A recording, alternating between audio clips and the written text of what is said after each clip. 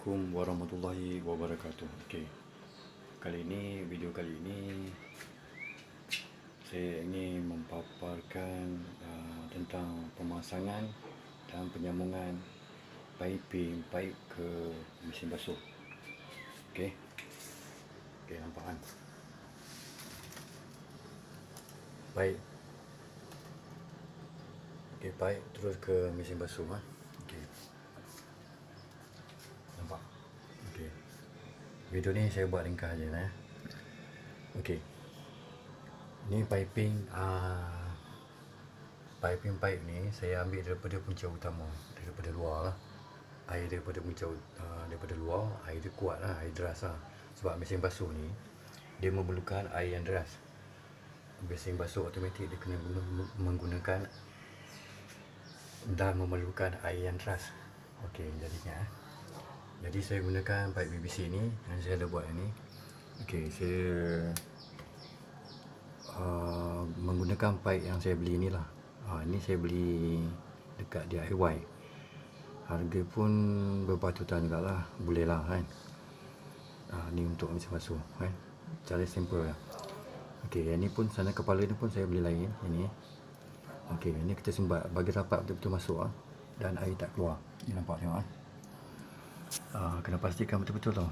Dekat sini pun sama juga. Jangan bagi dia meleleh. Kan, air. Okey, nampak kan? Okey.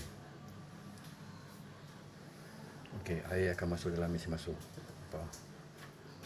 Eh? Ah, nampak? Ah, susah juga lah ni sebab saya kita pasal tebuk dalam dinding ni untuk masukkan pipe PVC ke arah ni ya. Nampak? Susah juga lah tapi okay, banyak kerja lah, rumit lah. Tapi boleh lah. Kan? Untuk melakukan sendiri ke kalau kita panggil orang buat kan jadi upah dia mahal sangat. Cas dia pun mahal. Okey. Ini pastikan betul-betul. Mesin basuh. Okey. Kunci utama ni saya ambil daripada mana? Okey, saya akan tunjukkan. Mari.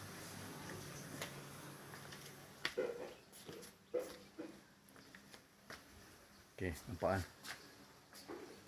Okey, nampak. ah, saya dah simen tadi. Saya masukkan dalam dalam, dalam simen ni. Okey, nampak kan? Ha, ni. Baik, pastikan air tak keluar kat sini dan tak keluar dalam dalam simen ni. Tidak habis basah simen. Kita dapat betul-betul lah BBC dia. Okey, ni saya ambil daripada sini. Nampak kan? Okey, ni saya buat buat lain sini. Okey, ni. Okey. Macam ni. Okey, nampak ni. Nampak. Ni. Dah nak kena hujan sampai nak berkarat lah. Tu saya cat lah ni. Simen ni. Okey. Yang satu patang ni dia akan terus ke tangki air tu. Tangki air tu ah, saya terpaksa beli tangki air ni sebab apa dulu air tak ada air tak ada kan. Jadi mana untuk standby air ni. Kan untuk standby air. Tahanlah seminggu kalau boleh kan. Kalau tak pakai kalau tak ramai orang pakai seminggu tahan lah. Okey, lepas tu saya akan sambung kat sini. Saya terus uh, ni ada stokok dia. Nampak kan? Stokok ni stokok dia. Kan? Uh, pastikan stokok ni tak akan air keluar. Tak, ada tak ada apa yang pecah apa semua. Kan? Okey, air dia punca utama daripada bawah. Uh, air ni sebenarnya dekat sini ni. Terus ke depan. Terus ke depan. Okey, saya dah tanam dalam simen ni. Kan? Sebab tak kat luar nanti orang sepak-sepak jatuh semua. Pecah. Jadi, okey. Kan? Baik saya kat depan tu. Nampak Ribu panjang tu. Dulu kat sini saya pakai besi. Saya dah buang besi semua. Saya pakai uh, pakai apa ni? Pipe yang hitam. Ah, itu tak masak je. Nampak kan? Okey, ni cara video saya ringkas lah kan. Bukan apa. Uh,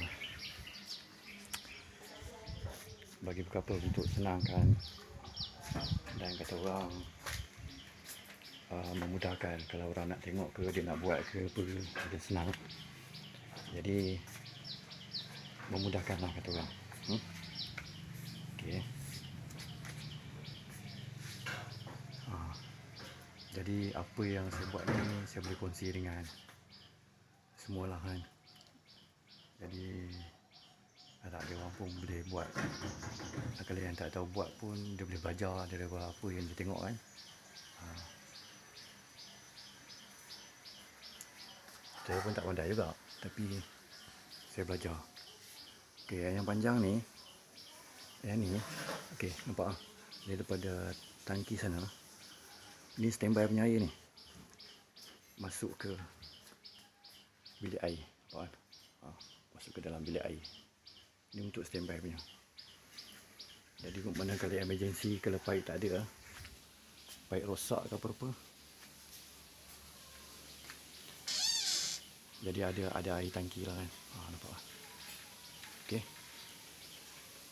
ok itulah video uh, video saya yang kali ini untuk dikongsikan bersama sama uh, kepada kawan-kawan semua lah yang mana yang tengok ya yang mana yang menonton ni kan.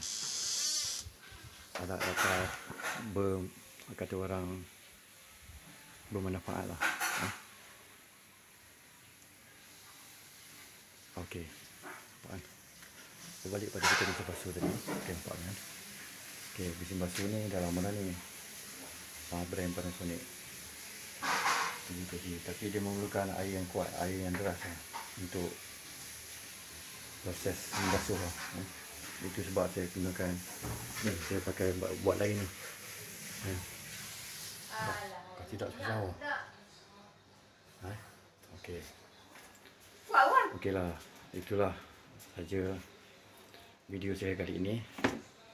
Saya harap siapa yang dah menonton ni uh, kalau suka like, subscribe share ataupun komen lah. Eh?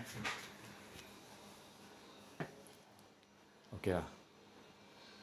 Apaan? Terima kasih kalau menonton video ini. Assalamualaikum warahmatullahi wabarakatuh.